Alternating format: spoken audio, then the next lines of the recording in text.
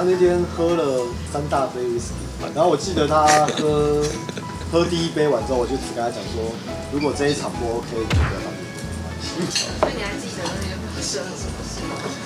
我记得，我记得，我印象太深刻，真的把你的心掏出来，就可能在现实生活中都没有这样子过。我觉得啊，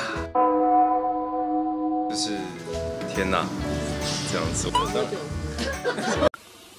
Talagang sobrang humang, humanga talaga ako kay Sam dun sa sina yun kasi tingnan mo. Lasing siya, nakakainom siya pero na-deliver niya, nabigyan niya talaga ng justice yung kanyang ano, yung kanyang part dun sa sofa sina yun. Grabe. Napakabigat, napaka-intense. Talagang masasabi mo talaga na napaka-professional nilang dalawa. 其实有一个蛮好笑的，就是我们那时候一起在看的时候，就他们两个很靠近的时候，我们想说，干嘛配听心跳声的声音啊？嗯，他们说是麦收到，跳得很大声，对，非常大声。子峰你有瘦对不对？瘦，暴瘦，现在吗？好像有，好像有，有十几公斤了，这个压力太大。很多事啊，很多事情加在一起，这样子。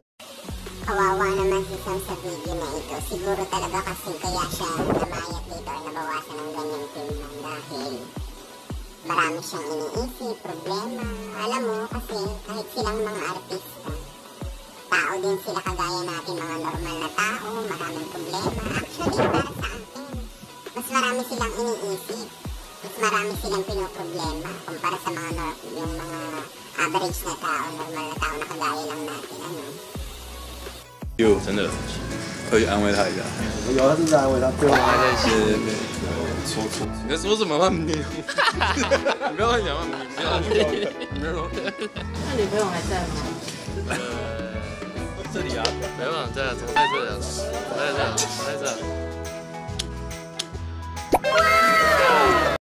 Dito naman sa tanong na ito ng reporter para sa akin, um, trabaho niya yun ang magtanong ng kahit anong klaseng tanong para malaman ng mga tao ng fans kung ano ba ang totoo. Kahit masama ba yan o hindi ba yan dapat itanong, itatanong pa rin yan kasi trabaho niya yan. Ngayon naman sa part naman ni Sam at saka ni Yu, ang nakakatuwa doon, kahit anong klaseng tanong ang iba to sa kanila, nakakandal nila. Kaya nilang sagutin, di ba? Yun yung nakakatuwa sa kanila eh. Ayun lang, binigay ko lang yung opinion ko. Sana mo kayo magalit sa akin. Kayo, anong opinion nyo tungkol sa video na ito? Huwag magkalimutang mag-like, share, and subscribe. Thank you sa panonood. Bye!